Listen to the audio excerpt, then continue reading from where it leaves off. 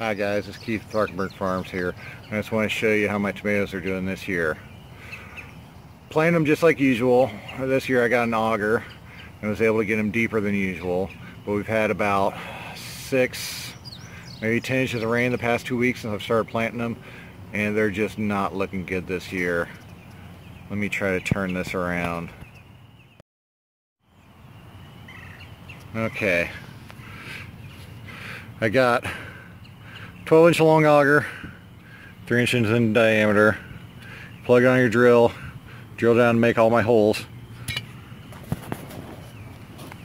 So, with a 3 foot, two and a half foot start, get about a foot out of the ground.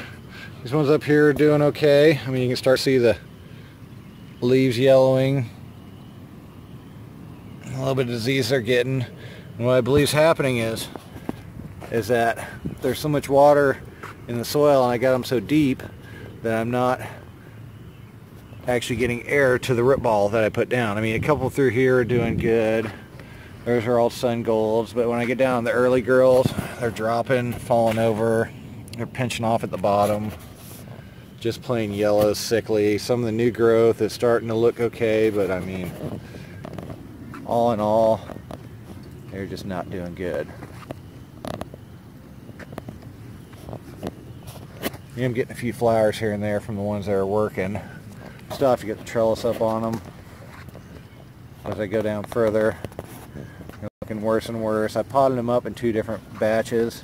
And I think the ones that were actually older did a lot better to where the younger ones potted up were down here. And they're just struggling. I mean, they're falling off, breaking off. The basil I planted around the surface, it's doing real good right now. And so are the peas next to me. We're actually getting peas now too.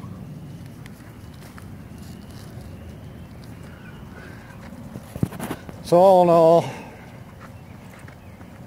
the auger would be great any other year, but we're in a flood year right now. So if I had planted them that deep, it'd been fine. I planted them that deep, and it was not. Hope this is helpful. If you could, like, subscribe. I'll show you what I've got going on around here. Thank y'all. Have a good night.